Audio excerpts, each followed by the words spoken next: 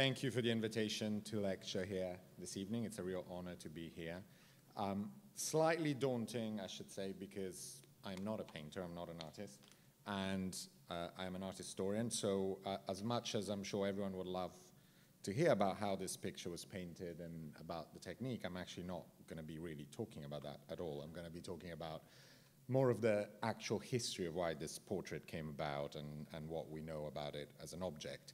I should also um, preface this by saying that currently the reason I'm working on it is that I'm planning a small book around this portrait. Um, the Frick has begun a series of books about a year ago, which I um, envisioned with our editor-in-chief. And the idea is um, to produce a series of books on individual great works of art at the Frick. Um, and these books are called diptychs because the idea is that two people collaborate um, on one work of art uh, for one book. And one is an art historian, someone who works at the Frick, a curator who describes and discusses the history of a single work. The other person is someone in the creative world. So it could be a writer, a poet, a filmmaker, a fashion designer, an artist, um, a musician, all sorts of different paths, and photographer. Um, we have published four. Um, I worked on one on Holbein's Thomas More with Hilary Mantel, the writer. Uh, one on Vermeer's Mistress and Maid, which my colleague Margaret Iacono did with um, the film director James Ivory, who wrote a piece. Uh, one on Gouthière's Candelabra, which my colleague Charlotte Vignon did with Edmund de Waal. And the fourth, which is coming out in the next few weeks, on Rembrandt's Polish Rider, which again I did with Maira Kalman. And we're now working on more, um, there's going to be one on Constable with William Kentridge, one on Fragonard with Alan Hollinghurst, um, and we have sort of a long list of names. I mean, one on Monet with uh, Olafur Eliasson, um, and so on. So the Aretino one, actually, which should hopefully, if I get it written in time, come out next year, um, is a collaboration with Francine Prose, who has written a short text uh, about Aretino and Titian. As part of this project, also, um, the, the painting has been cleaned, is being cleaned as we speak, and here is a sneak preview of, of almost finished uh, restoration. Uh, Michael Gallagher at the Metropolitan Museum of Art has been uh, beautifully cleaning, restoring this picture. Um, and um, here you see it as it will appear at the Frick when it comes back. Unfortunately, the slides you will see during the lecture tonight are in its previous state as, as a much dirtier picture, but the transformation is underway, and I hope you you can all come to the Frick um, to see it soon. In 1905, as Henry Clay Frick was building his collection of old master paintings in New York City, he acquired a portrait of Pietro Aretino by Titian, which had recently been exhibited in London at the Colnaghi Gallery. Gallery. It was hoped at the time that this portrait could be kept in England. The art critic Roger Fry had published that year an article on Titian's portrait in the Burlington magazine, the art history journal, which he had helped create two years earlier. Fry concluded his article commenting, It has been suggested that means should be found to acquire this magnificent work for the nation, and already we believe an anonymous and public spirited donor has offered a large sum towards the price. It is most sincerely to be hoped that others will come forward with the same generosity. The portrait was a celebrated one, since it first appeared in the inventory of the collection of Cardinal Flavio Chigi, who was Pope Alexander VII's nephew, on the 1st of May 1692. It is described as a half length figure, a portrait of Pietro Aretino by Titian. The painting hung at that time in the Cardinal's palace in Piazza Santi Apostoli in Rome, the present day Palazzo Odescalchi. And you see it uh, above in uh, an engraving. This is how the palace looked at the time that the Aretino portrait was there. Below, you see a slightly later engraving and the palace in its present form, and you can notice that it doubled in size. So this was originally a Chigi palace, and then by buying adjacent properties, the next family who owned the Odescalchis doubled the size of the palace, so it now looks much larger than, than it was.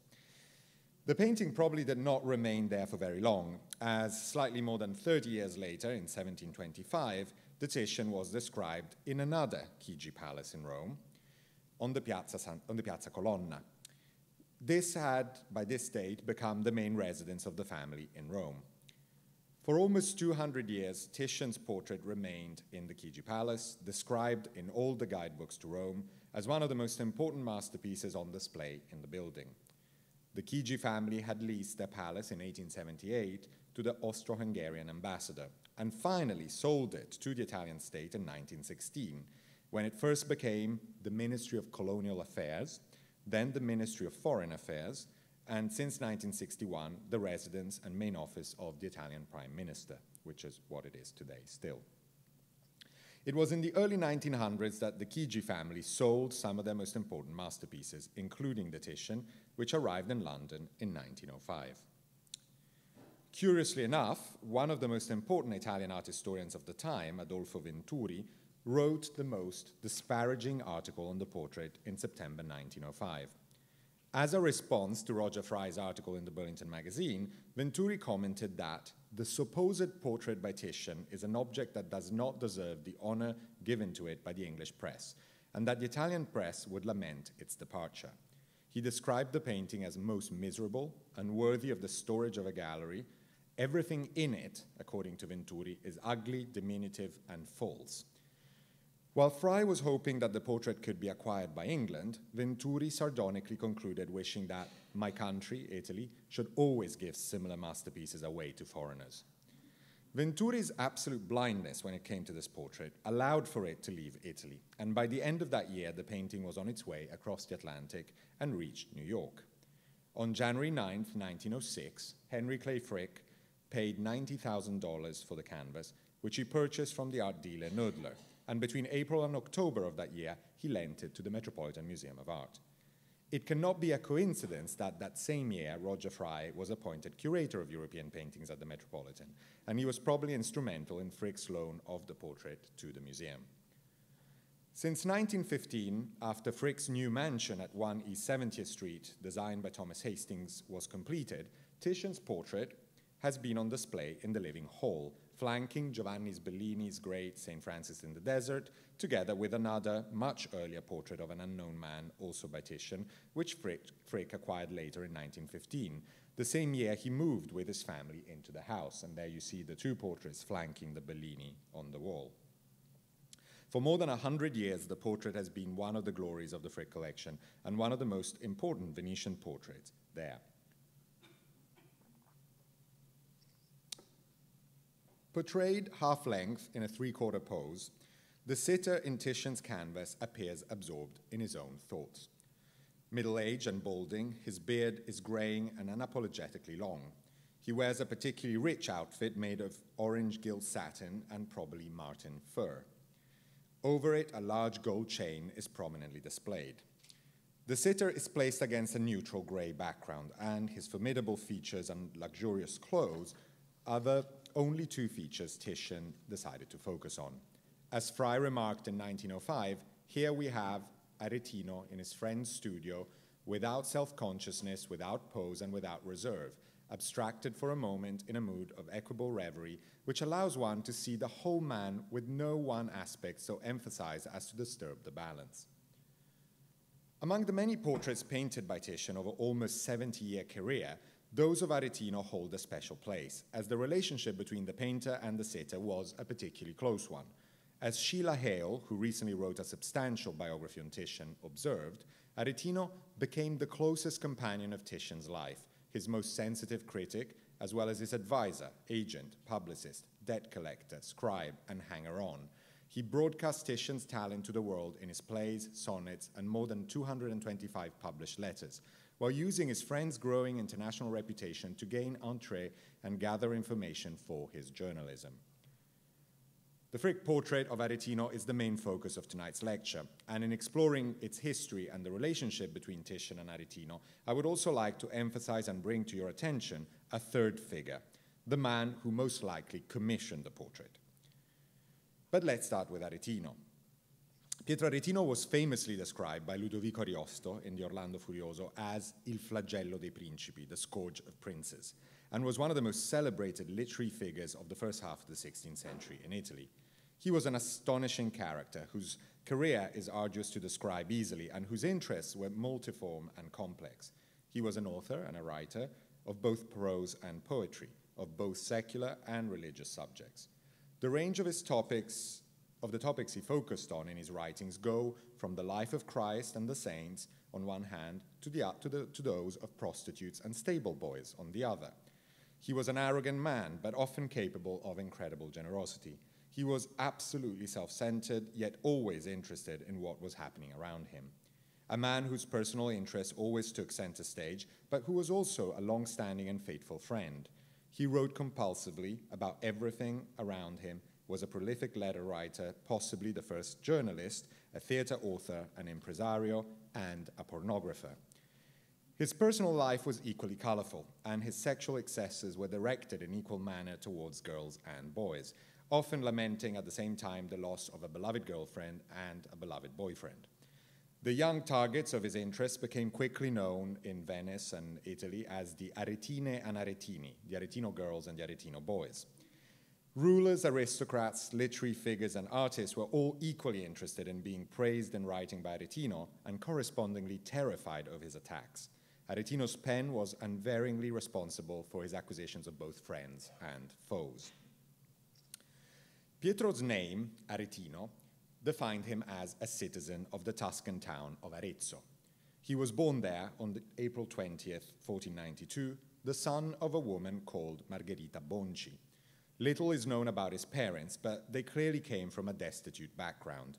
Aretino describes himself as being di basso sangue, of low blood, his father was probably a shoemaker, a calzolaio, probably either named Luca or Andrea, who seems to have abandoned his family very early on, and with whom Pietro had no relationship throughout his life. Many legends, mostly circulated by his enemies, later appeared in print dealing with Aretino's youth. His mother was close to the noble Bacci family, and in particular to a man called Luigi Bacci, and it is often said that Pietro was the illegitimate son of the aristocrat even though it seems more likely that Margherita began the affair with Bacci after her shoemaker husband had left her. The link to the Bacci family proved to be fundamental for Pietro's life, as the humble son of a shoemaker ended up receiving an aristocratic education alongside the other Bacci children in Arezzo. By 1510, the 22 year old Pietro was in Perugia with the humanist Francesco Bontempi and getting involved in the literary circles of that city. Two years later, in 1512, he published his first poems in the city. While in Perugia, he also became closely associated with the painter Giovan Battista Caporali, the son of another painter, Bartolomeo Caporali. Giovan Battista, a minor painter in the orbit of Perugino and Pinturicchio, affectionately nicknamed by Aretino Bitte, according to some early sources, also taught the young Pietro how to paint. And in some early documents, Aretino describes himself as an artist and painter. It is clear that from a young age, Aretino's interests in literature and art went hand in hand. Around 1517, the young Pietro moved to Rome, and there he was immediately adopted in the cultural circles of the rich Sienese banker Agostino Chigi. Between 1509 and 1511, Chigi had built a spectacular small villa on the banks of the river Tiber, following designs by Baldassare Peruzzi, which later became known as La Farnesina. Chigi had invited many of the most prominent artists in Rome at the time to fresco the rooms of the building, and in the second decade of the 16th century, Raphael, Sebastiano del Piombo, and Sodoma were all at work in the banker's residence. Around 1511 to 12, Raphael painted for Chigi his celebrated Triumph of Galatea, and soon after Aretino's arrival in Rome and his entry in the refined world of Agostino Chigi and the Farnesina circles, Raphael and his workshop were at work on the magnificent main loggia on the ground floor of the building, frescoed with scenes from the story of Cupid and Psyche. Aretino entered rapidly the whirlwind of literary figures of Rome at the time and quickly got to know the greatest artists at work in the city, such as Raphael, but also Giovanni da Udine, Giulio Romano, Sebastiano del Piombo, Michelangelo, and Jacopo Sansovino, and became a close friend of many of them. Rome at the time was witnessing a golden age for the arts under the patronage of the Medici Pope Leo X. And here you see the Pope in his portrait by Raphael. Aretino, probably because of his Tuscan origins, quickly moved within the papal circles and became close to Leo's nephew, Cardinal Giulio de' Medici, who you see on the left of the Pope, his uncle. The death of Leo X on November 24, 1521, allowed for Aretino's wit to be broadly publicized, but also was the cause of his first social downfall at the papal court. Already from the early 16th century, the custom of attaching satirical verses to an ancient sculpture near Piazza Navona, known jokingly as Pasquino, had become a common practice. And here you see uh, a 16th century print showing the sculpture with um, text attached to it, and you see it today where people still attach um, satirical text against Italian politicians mainly to it. During the conclave following Leo X's death, Aretino composed a series of satirical texts, known as Pasquinate, mostly in support of Cardinal Giulio de' Medici, who he was hoping would become the next pope. However, a northern cardinal, Adrian Florens from Utrecht, who had been Emperor Charles V's tutor and had never been to Rome previously, was surprisingly elected pope and took the name of Adrian VI. Before the new pope arrived in July 1522, Aretino quickly left Rome. For the next year, Pietro traveled around Italy and visited the court of Federico Gonzaga, the Duke of Mantua, you see his portrait on the left, and traveled in the service of the dead pope's cousin, Giovanni de' Medici, on the right, known because of the uniform of his mercenary army as Giovanni dalle Bande Nere, Giovanni of the Black Bands. But Adrian VI's reign was fortunately a short lived one, and the northern pope died in September 1523, having ruled slightly more than one year. Giulio de' Medici was elected pope and took the name of Clement VII. Aretino immediately returned to Rome, seeking the new pope's patronage.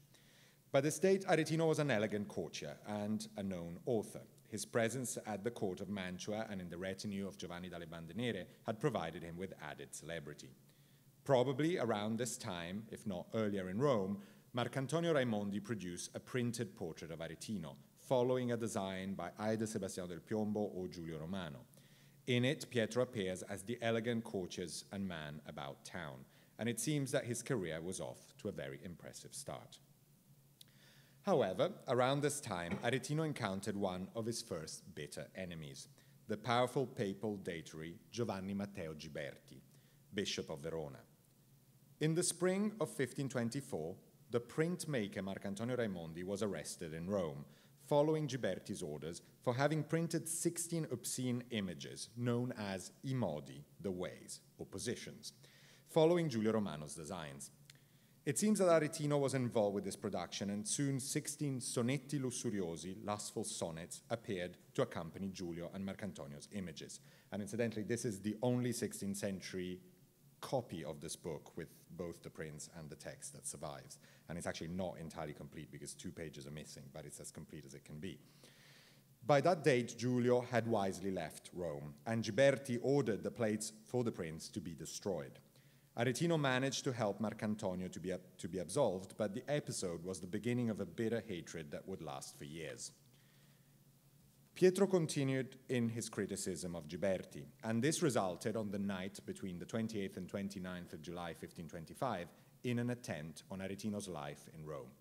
Riding through the city at night, Pietro was attacked by a man, Achille della Volta, who stabbed him twice in the chest and multiple times in his hands. In the attack, Aretino's right hand was badly disfigured and he lost two fingers. Left for dead, news of the attack traveled around Italy. But only a month later, Aretino was fully cured, and in October 1525, he wisely left Rome for good. He returned to serve Giovanni dalle Bande Nere as a secretary, but even this experience was a very short lived one, as the condottiere died in 1526, and even the subsequent stay in Mantua at the court of Federico Gonzaga was very brief. Lamenting the end of love affairs in Mantua with Isabella Sforza and with a young boy, son of a certain Bianchino, in March 1527, Aretino moved to Venice.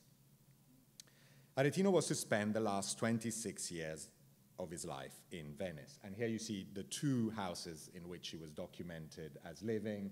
Uh, it's the second house, the one to the left of the Red House near the Rialto Bridge, and another one um, further up on the Grand Canal that you see here on the right on, on the corner. Away from the courtly world of Rome and Mantua, Pietro was delighted by the freedom and intellectual stimulation of Venice and remained in the city for the rest of his life. There was a possibility at one point to move to France in the service of King Francis I, and an ill fated attempt to procure himself a cardinal's hat in Rome. But otherwise, Pietro was firmly established as one of the principal literary figures in Venice. Here he published many of his most celebrated works the books on La Umanità di Cristo, the humanity of Christ in 1535, and the Ragionamenti, a text in which Aretino analyzed the lives of nuns, married women, and courtesans, only to conclude that the most honest choice of life for a woman between the three was that of a courtesan. In 1537, he started publishing his letters, which continued to be printed until 1557, when a sixth volume was posthumously printed. His portrait in these years appeared in woodcuts on so many of these publications, making his features well known throughout Europe. At the same time, medals by artists such as Leone Leoni and Alessandro Vittoria were also produced and widely circulated. Aretino's love life flourished in his Venetian years, and Caterina Sandelli became his life companion. With Caterina, Aretino had two daughters, Adria, who was born in 1537, and Adria's name refers to the Adriatic and to Venice, and the second daughter was called Austria, in reference to Austria and the emperor, and she was born 10 years later. Adria married in 1549 and moved to Urbino, while Austria lived with her father until his death. Caterina's presence, however, did not stop Aretino from having important affairs with other people, with Pierina Ricci, who died of tuberculosis in 1545, leaving the writer distraught, and then with Angela Serena, Aretino died in his house in Venice on October 21, 1556, of a heart attack. It was said at the time that he collapsed while laughing at a particularly good joke. He was buried a few days later in the church of San Luca, and here's the church. We actually don't know where he was buried in the church, but he is in there somewhere. While in Venice, Aretino developed a strong friendship with the most celebrated painter in the city, if not in Europe, at the time, Titian and the two remained close until Aretino's death. Together with the sculptor Sansovino, they were seen as a cultural triumvirate in the city. Aretino wrote extensively about Titian's art, and Titian, on his part, portrayed Aretino a number of times. On two occasions, Aretino made cameo appearances in Titian's paintings. And this is the game Spot Aretino. Around 1540, Aretino was portrayed as one of the soldiers in the allocution of Alfonso d'Avalos, the Marquese del Vasto, now at the Prado. It is unlikely that Aretino provided his features for the halberdier in the foreground, as it is often said, and it is much more likely that instead that he is among the faces in the crowd of soldiers in the background. And if you look exactly to the left of the halberd, there is a man in profile with a beard, and that seems to be Aretino. Only three years later, around 1543, Aretino appears as Pontius Pilate in the large Ecce Homo, now in the Kunsthistorisches Museum in Vienna. And there you see him at the top of the stairs next to Christ. But apart from these two appearances, Aretino was portrayed by Titian at least three times in independent portraits. We know from contemporary sources that also a number of other artists portrayed Aretino at different times, including Sebastiano del Piombo, Moretto, Francesco Salviati, and Jacopo Tintoretto. The first of Titian's portraits was probably commissioned soon after Aretino arrived in Venice in March 1527. On June 22nd of that year, Titian wrote to Federico Gonzaga to accompany his portrait of Aretino, which he was sending to him. The portrait was probably intended as a gift to encourage further patronage from the Duke of Mantua for both artist and sitter. The painting is described in the early 17th century by Ridolfi. He, Titian, portrayed him, Aretino, with a black cap on his head, embroidered with plume tasseled, held by a gold medal with the motto Fides, which had been given to him by the Duke of Mantua, and in his right hand he held a crown of laurel. Considered lost until very recently, I proposed recently that this portrait in the Kunstmuseum in Basel in Switzerland is actually a fragment of Titian's lost portrait for the Duke of Mantua. Almost 20 years later, in 1545, Titian painted Aretino's portrait again. This canvas was destined for another ruler of the time, Duke Cosimo I de' Medici, of Florence, the son of Aretino's old patron, Giovanni dalle Bande Nere. In April 1545, Aretino wrote to Paolo Giovio, who had asked for his portrait for his collection of images of famous men, apologizing for not being able to send the portrait by Titian, as it was intended for Cosimo. Instead, Aretino wrote he would send Giovio a copy of that painting. In October 1545, Titian's portrait was sent to Florence. Aretino, however, did not seem to like the painting. In a letter to Titian that month, he complained that the portrait had been piuttosto abbozzato che fornito, somewhat sketched rather than finished. And before the painter traveled to Rome, In, in a letter to Duke Cosimo accompanying the painting to Florence, Aretino grumbled about Titian's stylistic choices. He described the portrait as an image that certainly breathes it, its wrist pulse and move the spirit as I do in life. But Pietro remarked bitterly that if he had paid Titian more, maybe the draperies in the portrait would have been shiny, soft, and stiff, as satin, velvet, and brocade really are. The portrait, nevertheless, in its glorious use of reds, in its, might, in its mighty effect, even if it is easy to understand Aretino's disappointment in the broadly sketched sleeves of the outfit, is, is a great painting. Peering under the heavy scarlet coat is a gold chain. In fact, we know that this portrait was sent to the Duke of, um, of Florence, but the Grand Duke, but it was actually never seen by the Grand Duke. Um, it has been recently brought to light a whole series of very interesting letters. Aretino keeps writing to the Duke asking him if he's received the portrait, and he never gets a letter back. And that is because the secretary of the Duke at that time, who was favoring Bronzino, a Florentine painter, had hidden the portrait and all the letters from Aretino because he didn't want the Duke to ask Titian to do his portrait rather than Bronzino. So it's a sort of rather interesting um, political um, sort of conspiracy behind this portrait, which then appears in the Medici collection much later on. So going back to the gold chain, we know that Aretino received three gold chains during his life, which he himself mentioned in one of his letters. And of course, gold chains were great gifts, not only for their monetary value, but for the prestige of who was receiving them and, and who they were given by. The first was from the King of France, Francis I, another from the Empress Isabella of Portugal, Charles V's wife, and the third from Cardinal Ippolito de' Medici. Which of the three is represented in this portrait is impossible to determine. It is likely that it is the French one for a number of reasons, but we don't actually know.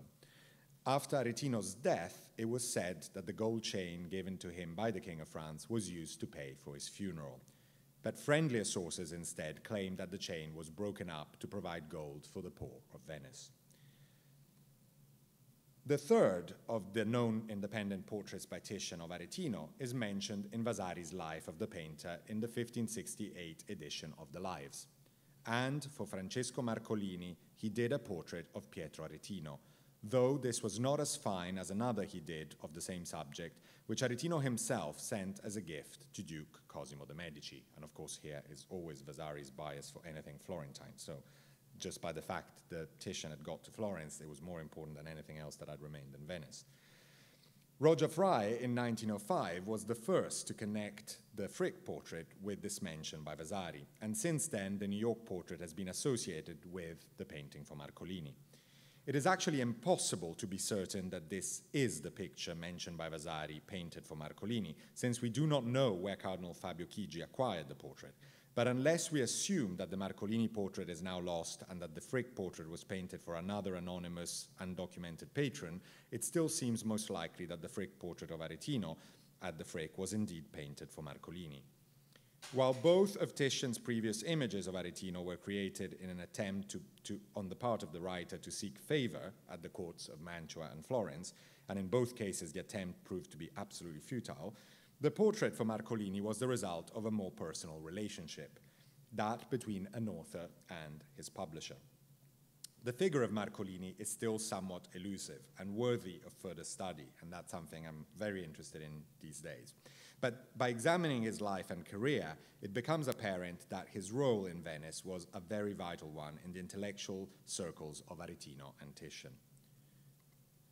Francesco Marcolini was born in Forlì at the end of the 15th century, or possibly in the early 1500s.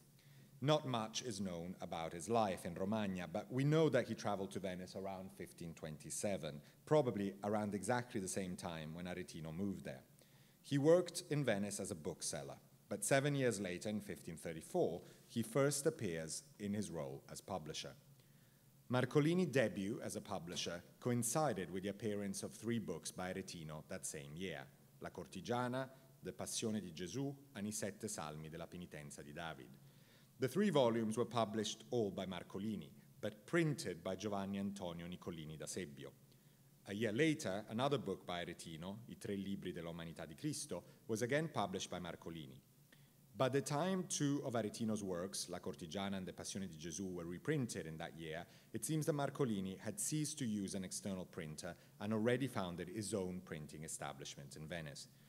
For a brief time, around 1536, Marcolini's publishing house was located near the church of Santi Apostoli, in La Contrada Santo Apostolo, nella Casa dei Frati de Crosacchieri. But soon after, he moved to another building near the Church of the Trinity at Castello. During a decade, from the mid 1530s to the mid 1540s, Marcolini's publishing house flourished in Venice, and its best selling author was Aretino. Between first editions and reprintings, Marcolini was involved with 35 books by Aretino. In 1545, Marcolini left Venice and moved to Cyprus.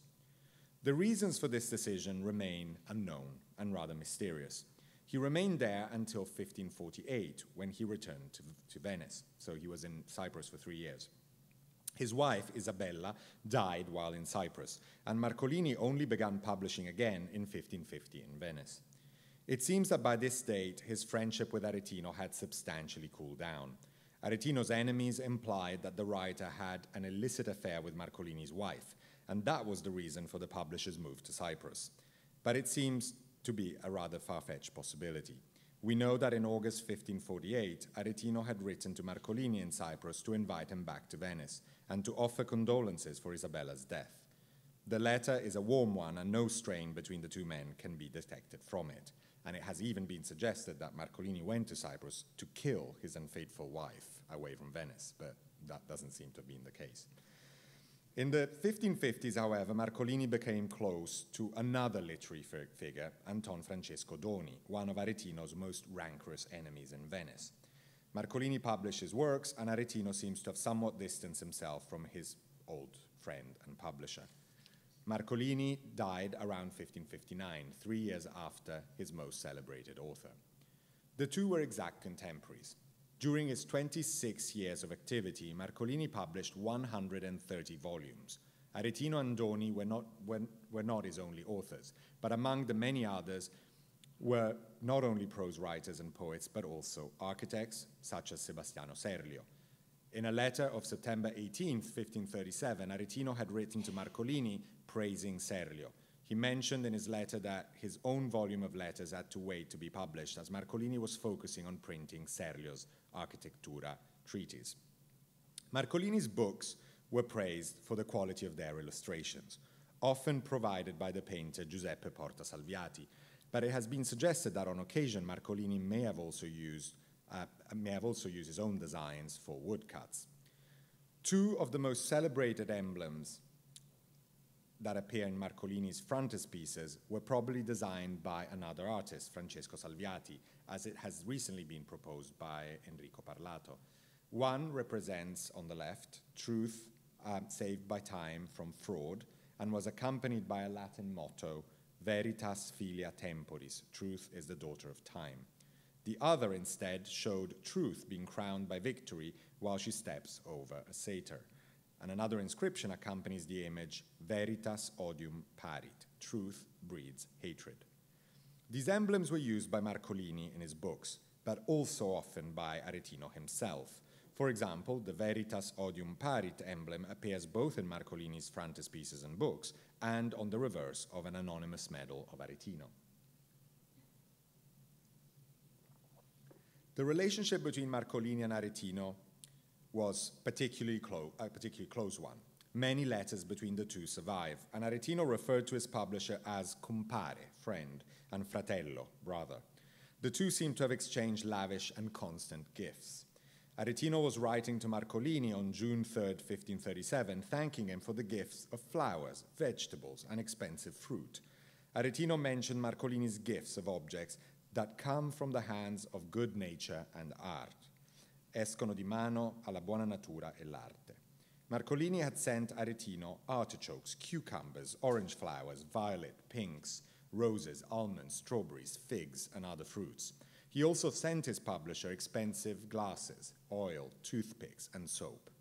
In August 1538, Aretino was praising Marcolini to Bernardo Teodolo, Marcolini's, I quote, soul is so similar to mine that one day he will donate himself in the same way that I would have donated myself if there were people who would be willing to accept such a low gift.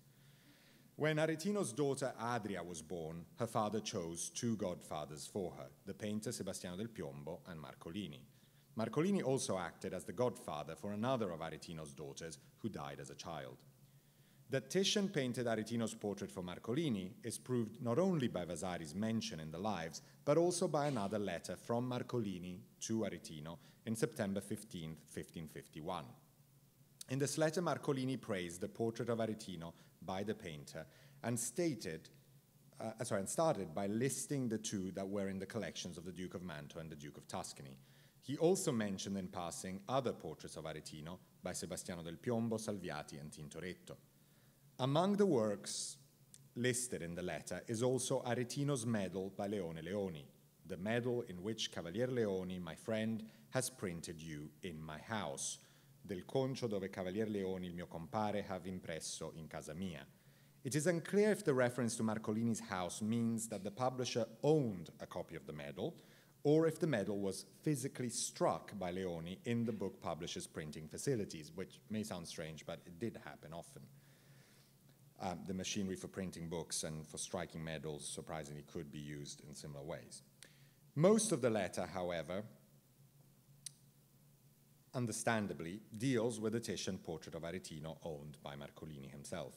The publisher claims in the letter that the painting was commissioned by him, a richiesta mia, and that it was painted by Titian in three days. Marcolini claimed that he would keep the portrait as an idol to signify the reverence in which he and the world kept Aretino, and he concluded that I will always keep it while I will remain alive, leaving it by inheritance to my heirs. Who Marcolini's heirs were is not known, and how the portrait passed after Marcolini's death around 1559 to the Chigi family in Rome later in the 17th century still remains to be established. Even more problematic is the date of the painting. In the letter, Marcolini stated, referring to the portrait, that those who knew you at the time see you in flesh and soul, now looking at the portrait. It is clear that the portrait must have been commissioned before 1551, when the letter was written. But it is unclear, however, if the Frick Marcolini portrait postdates the Florence one, 1545, and was therefore created for Marcolini after he returned from Cyprus, or if it is more likely earlier than 1545, and um, therefore predates Marcolini's trip to Cyprus. In any case, the reference to that time in the letter suggests a significant gap in time, which could have ranged between 3 and 15 years. The two portraits appear to be rather different, the ones in Florence and the one at the Frick. Uh, sorry. Uh, yeah. But in fact, they share significant compositional choices. The two canvases are almost identical in size. In both, Titian represents Aretino in the same pose.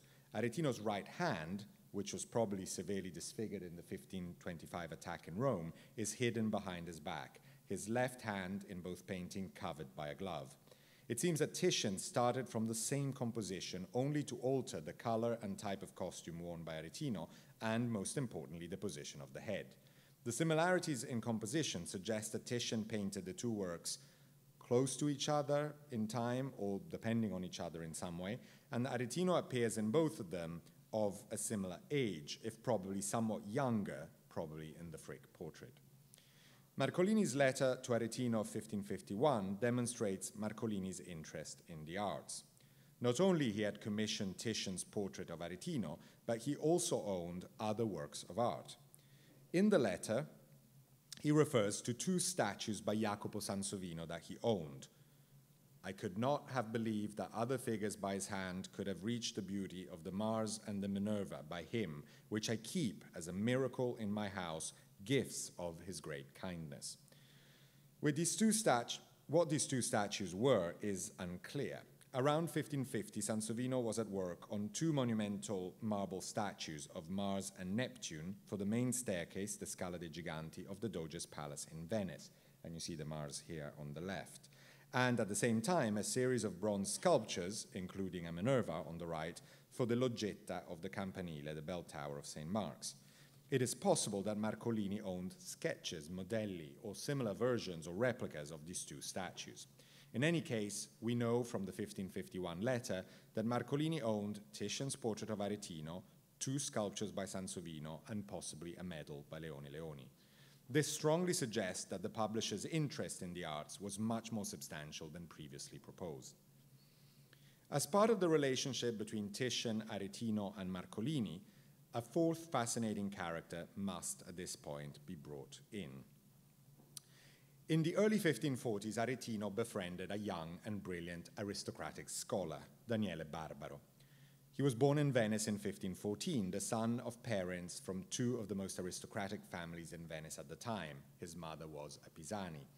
And Barbaro studied in Padua in, in, in 1540, and he was among the founders of the Accademia degli Infiammati.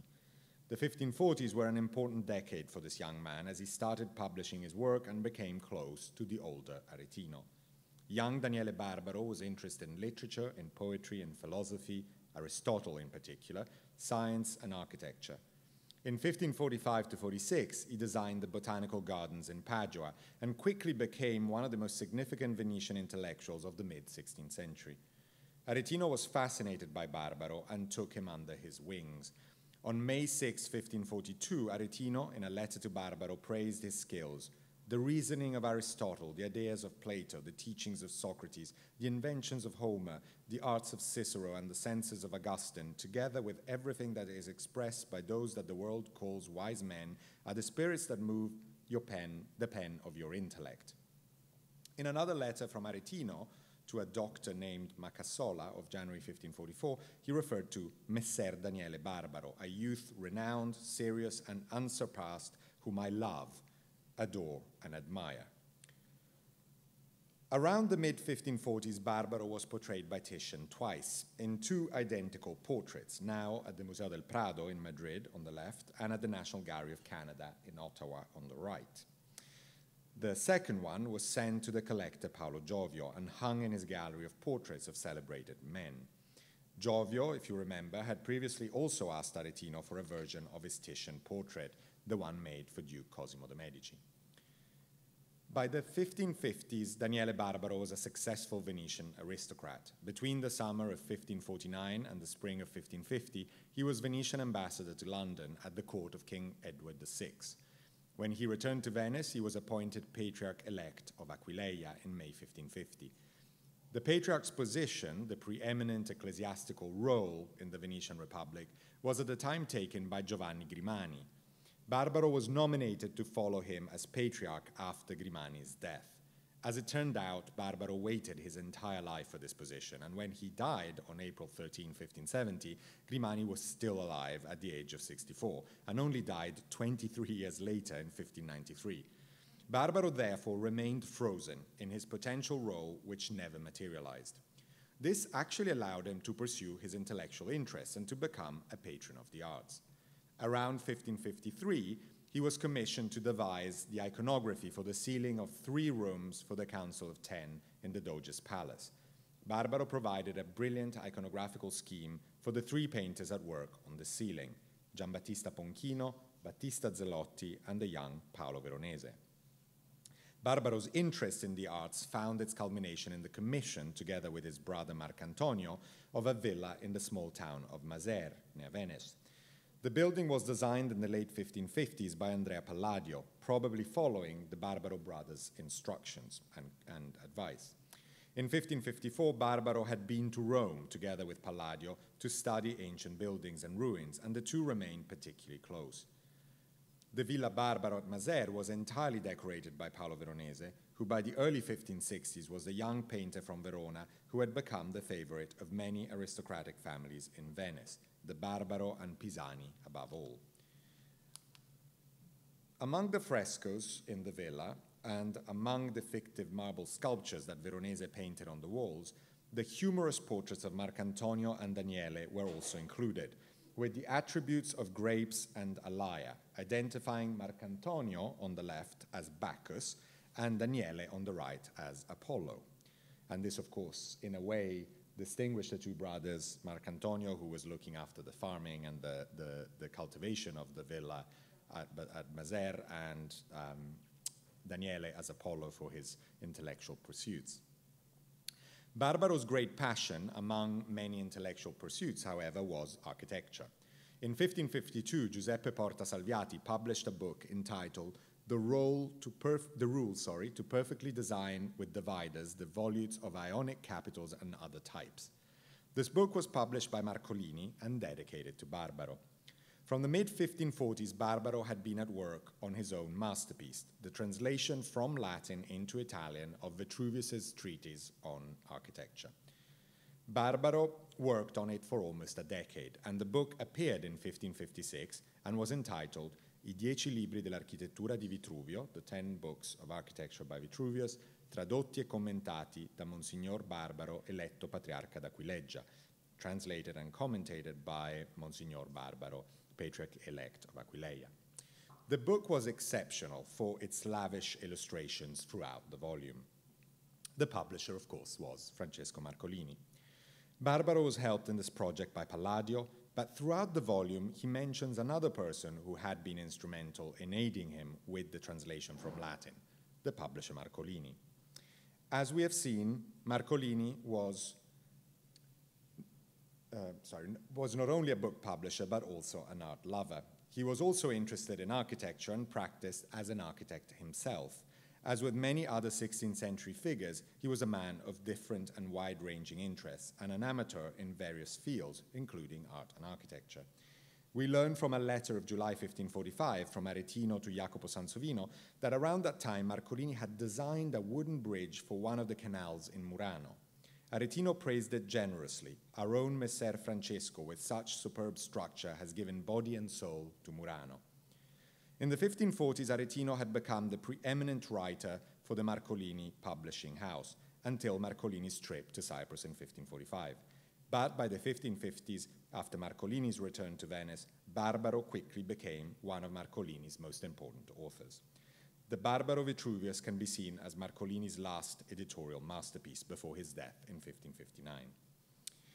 In the second half of the 1550s, Daniele Barbaro was portrayed for the second time, this time not by Titian, but by Paolo Veronese. As much as Titian was the iconographer of Aretino, Veronese became the iconographer of Barbaro. The magnificent portrait, which is now in the Rijksmuseum in Amsterdam, remains the most famous image of the Venetian intellectual. Barbaro is shown seated, wearing his ecclesiastical outfit as Patriarch elect of Aquileia, he sits against an architectural background and next to a table. On it are placed a metal armillary sphere, and in front of it are two books. Both are, in fact, copies of his translation of Vitruvius, as published by Marcolini in 1556. The portrait must therefore postdate the publication of the book, and the late 1550s fits stylistically with Veronese's career. On the table, Barbaro holds open one of the two copies of the book, showing its frontispiece. Of course, the frontispiece in the actual book appears on the right page, but for compositional reasons, Veronese transposes it to the left page. We can be sure that this is the frontispiece of the first edition, as by the time the second edition was published in 1567, the architectural structure in the frontispiece was somewhat altered, and there was a different, um, different frontispiece. The book behind also shows two of the woodcuts included in Barbaro's Vitruvius, again, not actually in the right order as they appear in the book. On the right page is part of page 69 of Vitruvius, showing the facade of the temple. Sorry. Uh, no, Sorry, the facade of the temple in Antis from book three. And on the left, instead, is the first page of book nine on clocks and sundials, showing a sundial. Recently, Duncan Bull, who is the curator at the Rijksmuseum, has published a brilliant article on this portrait. In it, he noted for the first time that Barbaro's studies on sundials were quickly superseded by a book by a guy called Federico Commandino in 1562. Duncan Bull rightly argued that Veronese would have not painted in the portrait an illustration from Barbaro's book that would have referred to, an out, of, to out of fashion scholarship. While many art historians have dated this portrait by Veronese to the mid and later 1560s and even to the 1570s, Bull argues convincingly that the portrait cannot be dated after 1562. He therefore places the portrait between 1556 and the early 1560s. While Veronese scholars over the years have debated the possible date of the Barbaro portrait, what no one has ever questioned is who the painting was painted for.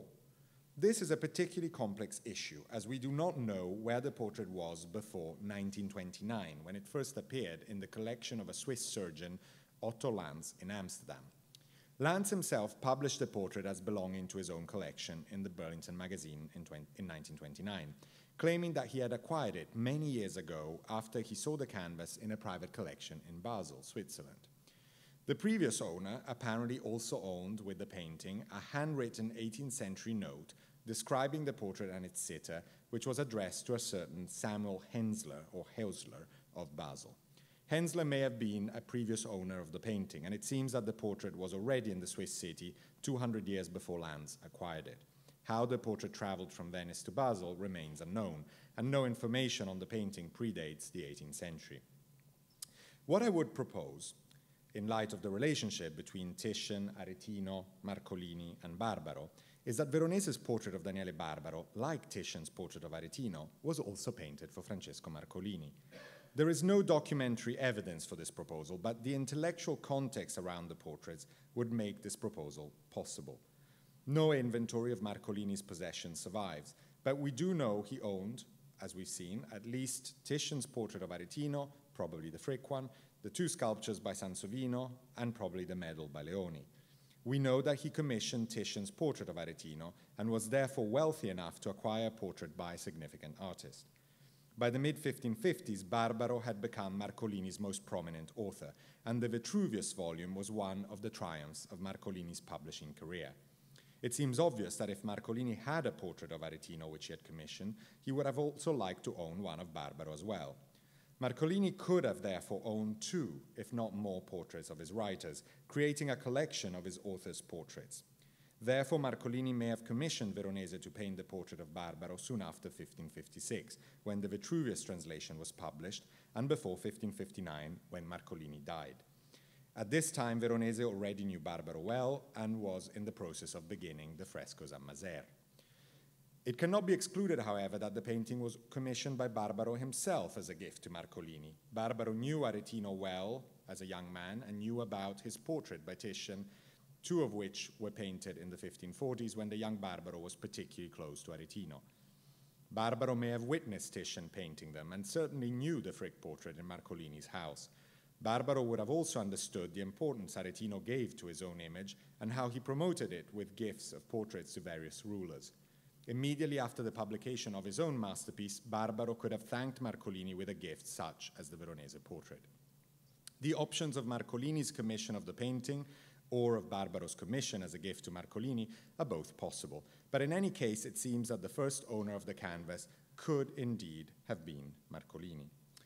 To me, the most convincing proof of this matter and the evidence for this proposal is in the painting itself. Daniele Barbaro holds his book open, and what the viewer can see are some of the woodcuts that made the book particularly lavish. This is a portrait of an author, an intellectual, but it's at the same time, it could be argued, a portrait of a very specific book. Barbaro's hand is on the title page, but when illustrating a title page in the portrait of an author, we would expect the title itself to appear and the name of the author and the writer. As you can see, Veronese depicts the title page in the bottom part. Neither Barbaro's name nor Vitruvius, not even the title of the work, are visible. What is clearly visible is the line at the bottom of the page, the line that proclaims that the book was published by Francesco Marcolini in Venice in 1556.